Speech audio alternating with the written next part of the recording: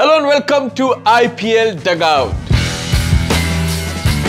so अब है double header जो आज जो मुकाबला होने जा रहा है वो है डबल हेडर लखनऊ वर्सेस हाँ। गुजरात और मुंबई वर्सेस पंजाब जी तो मेरे साथ श्रीकांत है जी। और मैं हूँ करण और आज हम डिस्कस करेंगे कि ये जो दो बड़े मुकाबले होने वाले हैं किसकी तरफ़ जाएगी ये जीत? क्योंकि अब वो पड़ाव आ चुका है कि अब आपको मैचेस जीतने हैं। अब यहाँ से आप हार अफोर्ड नहीं कर सकते श्रीकांत। बिल्कुल करण अब जो मुकाबले जितने भी बचे हैं बहुत गिने चुने मुकाबले बचे हैं यार। आप ऑलमोस्ट अपने हाफ़ के पास आ चुके हैं। अब हर मुकाबला जीतना आपका लक्ष्य होना चाहिए। और उस टेबल पे ऊपर कैसे जाएँ ऊपर कैसे बने रहें हर टीम यही सोच रही होगी करण? जी बिल्कुल अगर हम बात करें तो लखनऊ में मैच है दिन का मैच है नाइट मैच नहीं है तो पहला जो मैच है लखनऊ वर्सेस गुजरात। बहुत इंटरेस्टिंग मैच होने वाला है हार्दिक पांड्या लीड कर रहे हैं गुजरात को और के राहुल के हाथ में कमान है लखनऊ की। इसमें हाँ मैं एक बात बता दूँ कि अगर हम पिच की बात करें इस मैच की तो पिच जो है वो बॉलिंग के फेवर में जा रही है। तो मेरे को लगता है कि जो टॉस होगा, वो बहुत इंपॉर्टेंट हो सकता है कि कौन टॉस जीत के पहले बॉलिंग करेगा, या फिर वही जो प्रैक्टिस चलती आ रही है कि हम टॉस जीते और बैटिंग करें। तो ये बहुत इंटरेस्टिंग फैक्टर हो गया, क्योंकि जो पिच है, वो बॉलिंग के फेवर में पेस में आपको मदद मिलेगी स्विंग मिलेगा और लखनऊ में मैच है। तो बहुत ही इंटरेस्टिंग बैटल होने वाला है। हार्दिक पांड्या को हमने नहीं देखा बहुत देर से फॉर्म में तो हम चाहेंगे कि हार्दिक पांड्या भी अब फॉर्म में निकल के आए, वो विकेट्स लें। और के राहुल की बात करें, श्रीकांत भाई तो के राहुल ने अभी तक तो अच्छी पारी खेली है। जी बिल्कुल। स्टार्टिंग में थोड़ा मुश्किल लगा था कि उनका मुश्किल से दौर चल रहा है बट अब लग रहा है कि थोड़ा फॉर्म वापस आ रही है उनके पास। अभी भी कोई बड़ी इनिंग जो हम देखना चाहते हैं वो उनके बल्ले से हमें दिखी नहीं है। लेकिन हाँ लय में नज़र आ रहे हैं। हो सकता है ये मैच उनका बड़ा मैच हो यार। हार्दिक पांड्या जो उनके बहुत अच्छे दोस्त हैं क्या पता उनकी बॉलिंग पे ही सिक्सेस मारते नज़र आए करण। जी बिल्कुल देखिए अब जो अगर हम फैंटेसी की बात करें तो लेट्स डिस्कस आवर फैंटेसी बिल्कुल बिल्कुल देरी नहीं करते हैं आज। हाँ तो आज फैंटेसी की बात करें क्योंकि दो मैच है दो टीम की बात करेंगे फैंटेसी में तो आज मैंने जो दाव लगाया अगर मेरी फैंटेसी की बात करें तो मैं तो जा रहा हूँ हार्दिक पांड्या के साथ एज अ कैप्टन क्यों? क्यों। क्योंकि अब मेरे को लगता है कि फॉर्म आना बहुत ज़रूरी है। अगर आप परफॉर्म नहीं करेंगे तो कब परफॉर्म करेंगे? यहाँ से आपका परफॉर्म करना बहुत ज़रूरी है। कैप्टन मैंने इसलिए बनाया है बॉलिंग करेंगे बैटिंग करेंगे क्योंकि देखिए जब कड़े मुकाबले होते हैं ना तो जो लोअर मिडल ऑर्डर के जो बैट्समैन होते हैं ना उन पे बहुत दारोमदार रहता है। और अगर हार्दिक पांड्या जल्दी बैटिंग करने आ जाए। हाँ और- और अगर हार्दिक पांड्या चल गए 50 स्कोर कर दिया और विकेट्स पे ब्रेक थ्रू मिल गए तो आपके जो पॉइंट्स है ना फैंटेसी वो बहुत बढ़ जाते हैं। उसके अलावा कायल मेयर्स जो कि बहुत बेहतरीन फॉर्म में है ये भी एक ऑलराउंडर के रूप में है इसलिए भी मैंने इनको अपनी टीम में रखा है। ये हमारे वाइस कैप्टन है और निकोलस पूरन को मैंने एज अ विकेट कीपर रखा है। डेविड मिलर को लिया है के राहुल जो अभी तो अच्छी फॉर्म में चल रहे हैं क्योंकि शुरुआती में थोड़े झटके लगे थे बट के राहुल से भी उम्मीद रखेंगे कि फॉर्म कंटिन्यू रखें। तो तग, तगड़ा मैच है देखिए प्लेयर से पता चल रहा है कि अगर ये फॉर्म कंटिन्यू रही तो तगड़ा मैच होने वाला है। आपके विकेट्स भी गिरेंगे बॉलर्स भी बहुत तगड़े तगड़े हैं बॉलर्स पे भी आऊँगा। उसके बाद मैंने राहुल ये तेवतिया लिया है और वो क्यों लिया है? क्योंकि मिडिल ऑर्डर पे ये अच्छी बैटिंग कर सकते हैं। अगर चेस करना पड़े गुजरात को तो ये एक की जो है वो रोल प्ले करते हैं हमेशा से। उसके बाद शुभमन गिल।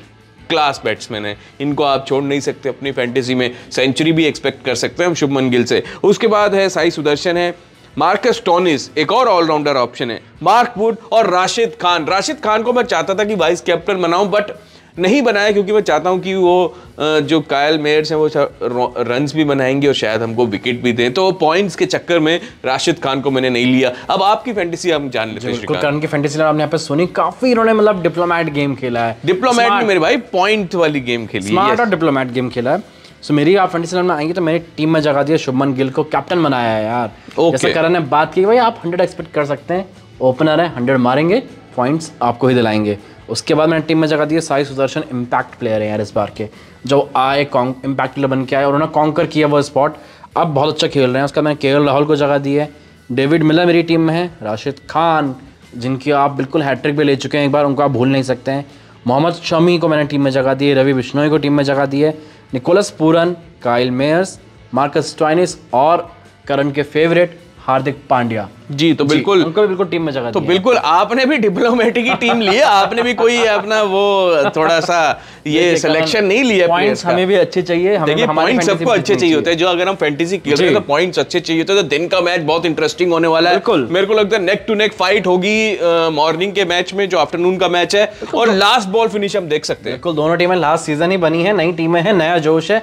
लास्ट सीज़न में इनकी टक्कर बड़ी कमाल की रही है। बिल्कुल बिल्कुल और सीज़न भी बिल्कुल। और मेरे को लगता है गुजरात लीड कर रहा है। जी जी गुजरात दोनों बार जीता है। जी तो गुजरात दोनों मैच जीता है जो भी पिछले दो मैचेस हुए। दो दो बार जो दो हाँ, मैचेस तो हुए हैं गुजरात का जो है वो पलड़ा थोड़ा भारी है। अब दूसरे मैच की बात करते हैं जो है वो मुंबई और पंजाब। बिल्कुल यार ये ऐसा लग रहा है कि नॉर्थ वर्सेस साउथ वाला ही मुकाबला एक तरीके से देखा जाए तो जहाँ पंजाब वहाँ मुंबई। हाँ थोड़ा सा अगर एडवांटेज देखें तो मुंबई के पास जा रहा है करण। क्या कहना चाहेंगे आप? नहीं देखिए मुंबई के पास एडवांटेज तो है क्योंकि प्लेयर्स अब फॉर्म में आ चुके हैं। सूर्य कुमार ईशान किशन बहुत अच्छा परफॉर्मेंस कर रहे हैं। रोहित शर्मा ने भी अच्छा परफॉर्मेंस किया है। 50 मारा था उन्होंने जब दिल्ली के खिलाफ खेले। और उसके बाद अर्जुन तेंदुलकर जो अभी तक के सबसे मतलब ट्रेंडिंग खिलाड़ी जो है वो है। अर्जुन। इम्पैक्ट भी नहीं ट्रेंडिंग जो ट्रेंड कर रहे हैं इस बार सोशल मीडिया पे वो है अर्जुन तेंदुलकर। उन्होंने अपना खाता खोल लिया कर एक विकेट भी ले जो विकेट उन्हें चाहिए थी उन्होंने दूसरे मैच में ही खाता खोला है। और बिल्कुल हम उम्मीद करेंगे यार इस मैच में भी खेलें।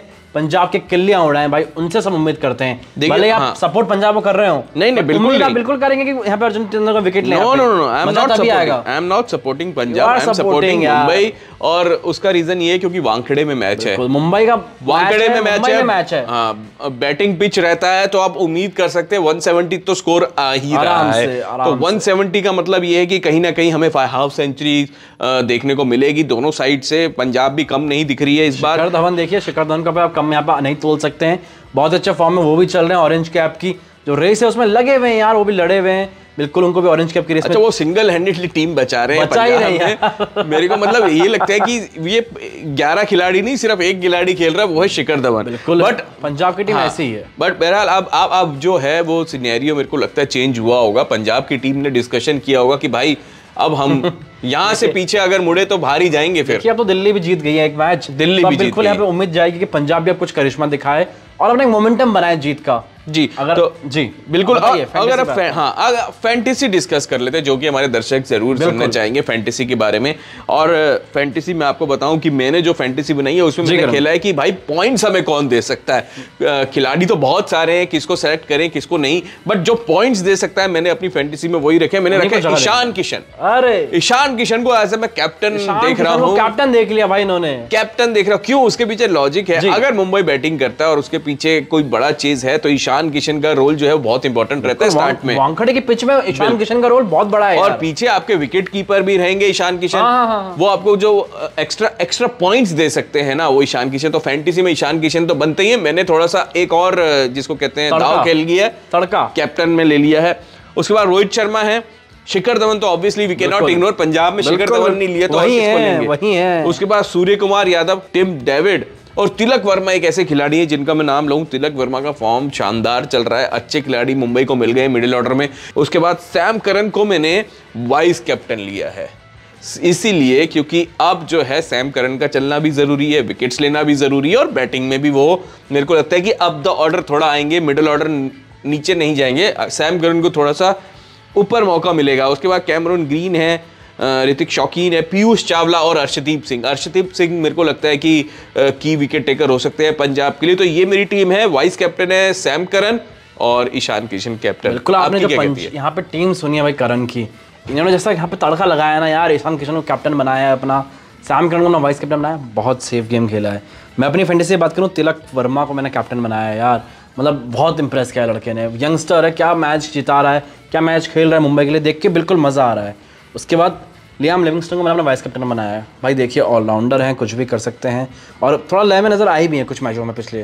तो देख के मज़ा तो आ रहा है। ईशान किशन को टीम में जगह दी है उसके बाद रोहित शर्मा, उनको तो आप भूल भी नहीं सकते हैं। शिखर धवन, भाई उनको भी, पंजाब तो उनके कंधों पर टिकी हुई है। उनको अगर आप भूल गए तो पंजाब कुछ है ही नहीं उनके बिना फ़िलहाल अभी।